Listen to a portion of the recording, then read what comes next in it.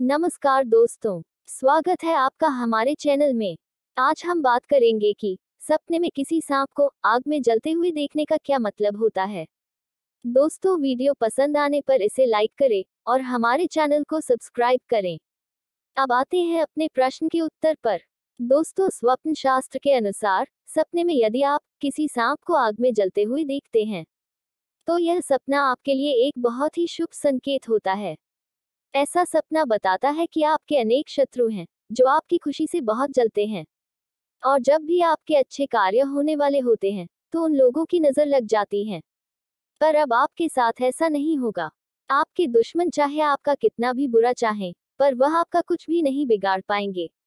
ऐसे सपने के अनुसार आने वाले समय में आपको एक के बाद एक सफलता मिलेगी। और आप बहुत ऊंचाइयों तक पहुँच जाएँगे। और आपके दुश्मन आपसे जलने के अलावा आपका कुछ नहीं बिगाड़ पाएँगे। आपके सारे दुश्मन अब समाप्त होने वाले हैं। आपको इस सपने के माध्यम से यह संकेत मिलता है कि आपको आग की तरह आगे बढ़ने की ज़रूरत है।